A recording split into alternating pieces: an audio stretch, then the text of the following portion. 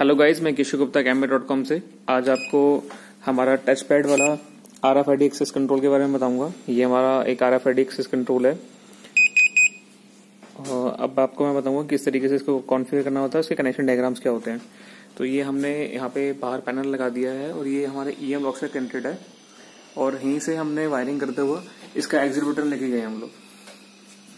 तो इसमें हमारे को टोटल पाँच तरह की ज़रूरत पड़ती है।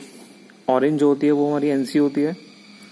ब्लू वाली हमारी कॉमन होती है पर्पल वाली रेड वाली हमारी पॉजिटिव होती है ब्लैक वाली नेगेटिव होती है और येलो वाली जो होती है हमारी एग्जिट बटन की होती है। सो so, इस तरीके से आप देखेंगे गाइस इसमें हमने ये जो हमारी एनसी वाली है इसको येलो वाली हमारे लॉक की पॉजिटिव है।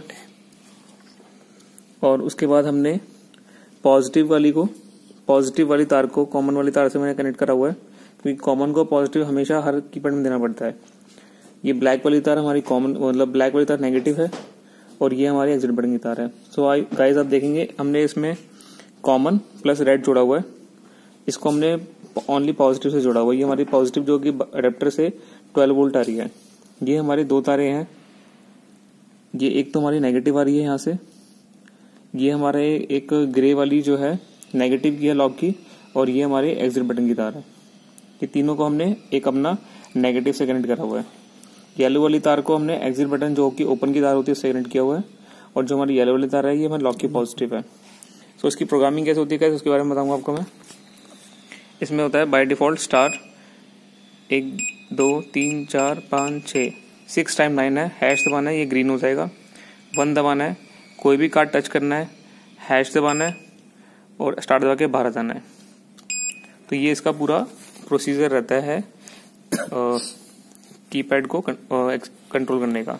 अगर आपके अंदर, आपका, अगर आपको इसमें पासवर्ड क्रिएट करना है तो आपको दबाना है star one two three three four five six hash one अब आपको कोई आईडी क्रिएट करनी है, जैसे कि मैंने ट्रिप फोर टाइम वन कर दी। मैं हैश दबाऊँगा।